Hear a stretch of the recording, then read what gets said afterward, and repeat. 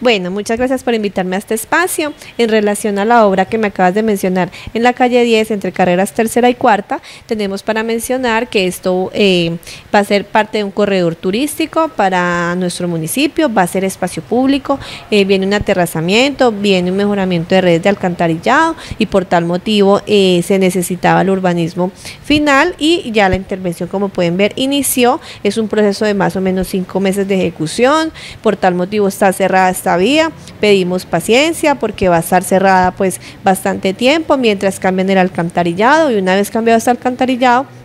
se procede a mejorar los andenes y con arborización. Algo que la ciudadanía pregunta es si se va a quedar en doble sentido o de qué forma quedaría la transitabilidad por allí. El tránsito queda de la carrera tercera subiendo por la calle 10. No va a quedar bajando en el sentido, este sentido vehicular eh, se cancela y va a quedar solo peatonal.